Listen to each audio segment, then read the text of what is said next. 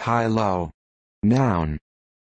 1. Poker, a game where, instead of winner takes all, the highest hand splits the pot with the lowest hand.